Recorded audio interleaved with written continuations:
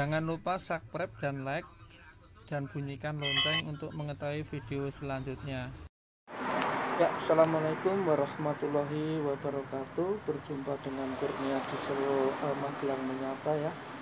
Uh, Oke, okay, sahabat semua, sahabat sosial media, bahwa pagi ini saya akan uh, mengadakan atau mencoba tutorial yaitu cara memasang buring atau memasang buring RB85 ya dengan menggunakan uh, cylinder head. Jadi nanti akan saya peragakan bagaimana memasang buring memasukkan buring dengan menggunakan silinder headnya ya. Jadi ini menggunakan alat sederhana yang biasa kita pakai di lapangan. Mudah-mudahan bermanfaat buat eh, teman-teman uh, semua dan mohon subscribe-nya ya uh, like dan share ya. Kemudian uh, pencet atau pukul lonceng yang ada di bawah ini untuk bisa mengikuti tutorial daripada diesel yang selanjutnya. Oke gitu. Nanti kita uh, mari kita ikuti acara selanjutnya. Terima kasih. Peragakan bagaimana cara memasang e, memasukkan ke dalam e, sini ya ke dalam caranya masukkan di sini. Oke sebelum kita pasang eh, kita pasang dulu o-ring linernya ya. Ada dua buah. Eh, biasa kita kalau standar pabrik ini tidak usah dikasih eh, tidak dikasih pakai lem ya. Tapi cukup langsung dipasang linernya ya tapi biasanya lain mekanik lain caranya. Kalau saya pribadi biasa pakai stempet ya. Gunakan stempet stempet ya untuk memasangnya. Agar pertama memasangnya mudah. Besok ketika akan menyopot lagi atau membongkar lagi untuk servis berikutnya kita tidak mengalami uh, kesulitan ya kita kasih stempet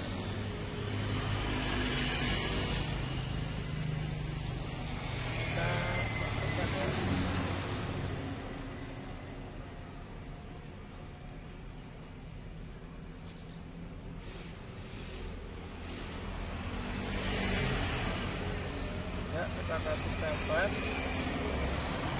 Kemudian di sini juga kita kasih stempel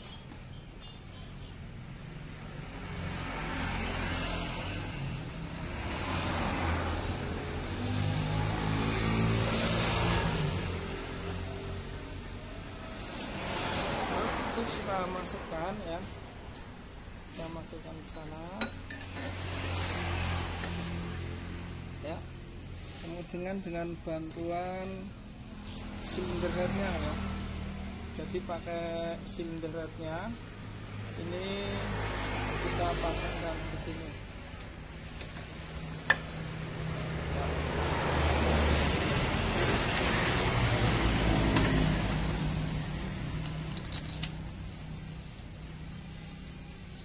kita bautkan eh, secara silang merata ya. Jangan kita keraskan eh, satu-satu eh, tapi kita silang cara mengeraskannya ya agar pengembangannya rata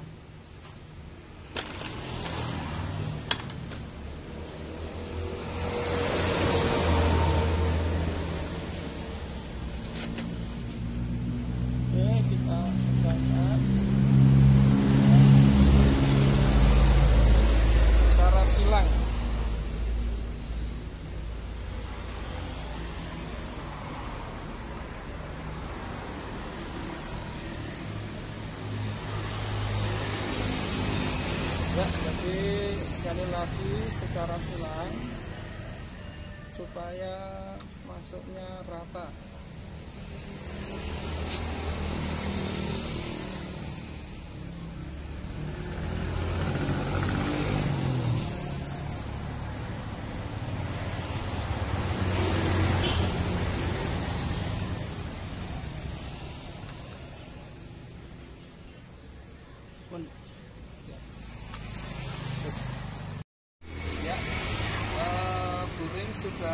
terpasang ya. Jadi dengan menggunakan bantuan ini uh, buring sudah bisa terpasang masuk ke dalam ya. Tapi ini uh, untuk lebih meyakinkan lagi ya ini kita kencangkan lebih kencang ya. Ini kita masukkan lagi ke dalam tapi sebelumnya kita kasih dulu uh, packing bekasnya ya. Packing bekasnya dimasukkan lagi ya. Kemudian kita ulang. Kita ulang lagi eh, bautnya ya. Agar lebih maksimal kekencangannya karena apa? Kalau tidak dikasih eh, gasket tadi ya ini kan ada tonjolan ke sini. Kalau dipaksa terus nanti bisa menyebabkan retak bagian sini ya jadi eh, fungsinya packing gas head bekas itu dipasang lagi kemudian buat mencengkan itu supaya tidak pecah.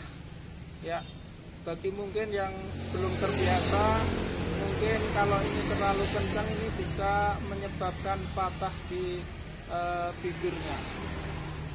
Baik mungkin itu ya yang perlu diperhatikan. Ini akan kita coba kencangkan lagi untuk yang kedua kalinya ya. Supaya lebih oke. Okay kuat dan lebih yakin.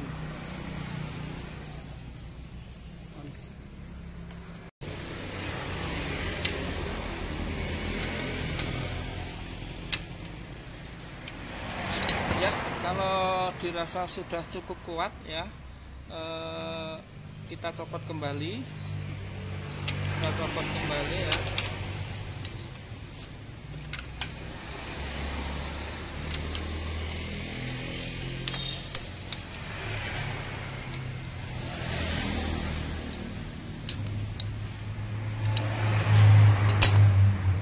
Copot kembali ini supaya kita ambil gasket headnya ya. Kita ambil gasket bekasnya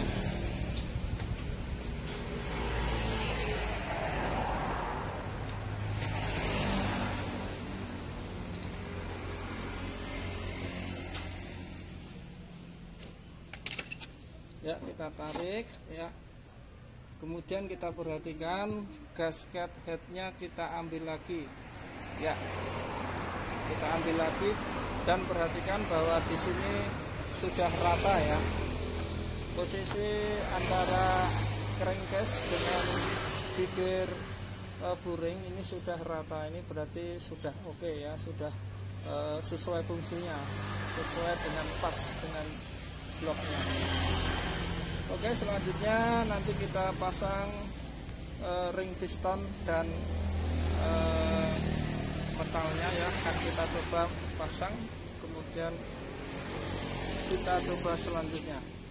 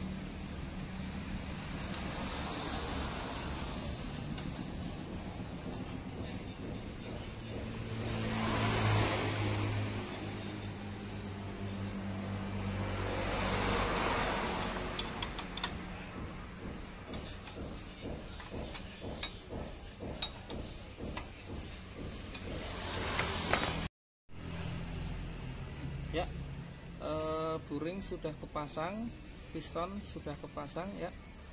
Ya mungkin itu ya cara memasang daripada liner ke dalam blok mesin ya. Mudah-mudahan bermanfaat buat uh, sahabat semua. Mungkin saya cukupkan sekian.